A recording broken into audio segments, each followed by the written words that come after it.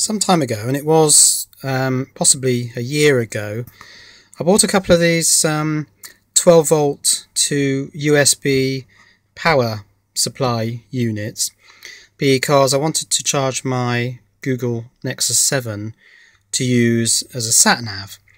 But the problem was it didn't charge very well. It charged very slowly um, and it didn't say charging on the screen. And I couldn't quite fathom out why. So I did a bit of digging and uh, found out that it was to do with the USB specification. Now, I probably wouldn't have made this video if it weren't for the fact that it appears that Maplin are still selling uh, the, what is it, A70LB, and this is the A70LB. I've punched a hole in where the screw is, but you can see that that's the model number.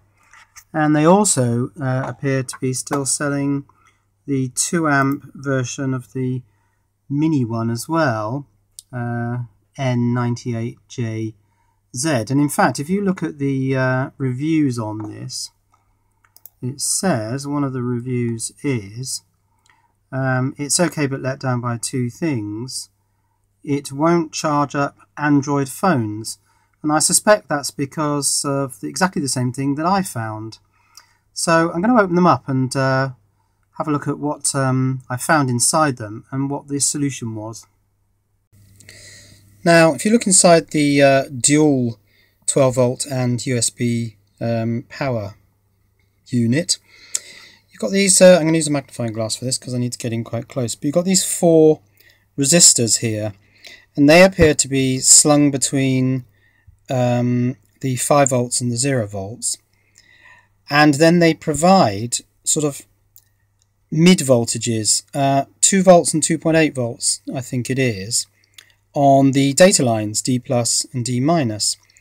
And I thought, well, now what's all that about? So let's take a quick look at Wikipedia. Now, if you look at um, Wikipedia's USB article, there's this section here which says, before the battery charging specification was defined, there was no standardized way for the portable device to inquire how much current was available. Um, for example, Apple's iPod and iPhone chargers indicate the available current by voltages on the D minus and D plus lines. And then it says when um, D plus is 2.8 volts and D minus is 2 volts, the device may pull up to 2 amps of current. So it seems that Apple were using a non-standard way of indicating how powerful the uh, charging unit was. And it seems that a lot of these um, USB power units wanted to support Apple products and therefore included this potential divider network in the products. But it doesn't work, it seems, on the more modern products. Certainly doesn't work on the Nexus 7, and that guy who left the review saying it doesn't work on Android phones um, for the same reason, presumably. So what I wanted to do was find out the way to um, get around this. Now, also on the Wikipedia article, it talks here about dedicated charging ports um, without data support. A portable device can recognize the type of USB port from the way the D plus and D pins are connected. For example, on a dedicated charging port, the D plus and D minus pins are shorted. And so that made me think, okay, so say I cut out all this potential divider resistor business and just shorted these two pins together. Would that fix it? And so that's exactly what I did. You may just be able to see here um, that I've got a couple of cuts there. So I've cut away the resistor divider networks from the two data pins, which are these two middle pins here. And I've shorted across with just a blob of solder the D plus and the D minus. And that tells um, devices with a more modern specification that this is uh, a dedicated charging port that has the full 2 amps available. Now I think the spec actually has a limitation on 1.5 amps, but the um, hardware can provide 2 amps, and then the uh, unit that needs charging should draw 1.5 amps. And that did the trick. Um, it seemed to also support the Apple iPod, so it didn't seem to affect the way my Apple device worked. But the uh, Google Nexus 7 then started to charge properly and actually indicated on the screen charging.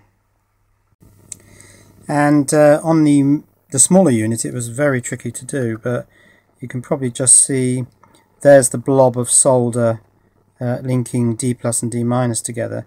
And the four resistors are actually these tiny black dots up here, right up adjacent to the USB socket. They're extremely small, and it was a bit tricky finding where the connections went to cut them away from the D plus and the D minus sockets, but that's what you have to do, and then just put a blob of solder, solder and short across. Now the actual data for this came from the USB battery charging specification revision 1.2 dated December the 7th 2010 and it says for the dedicated charging port the following requirements apply to a DCP and in 4.4.3 it says detection signaling a DCP dedicated charging port shall have an impedance between D plus and D minus of RDCP underscore DAT. And there's RDCP underscore DAT. It's the dedicated charging port resistance across D plus and minus, and it gives it as um, a maximum of 200 ohms and a minimum of, well, it doesn't show it, but of course it's zero. And um, I have seen articles that say stick a 200 ohm resistor there, but that's actually a misinterpretation. It's a maximum. It should be no more than 200 ohms. And of course, the easiest way to do it is to simply short D plus and D minus together with a blob of solder. And so with that modification made, both these devices are now able to charge uh, certainly the Google Nexus 7, but I suspect uh, other Android phones and devices um, with the full amount of current, the full 1.5 amps that the unit will draw if it sees uh, a short circuit across D plus and D minus.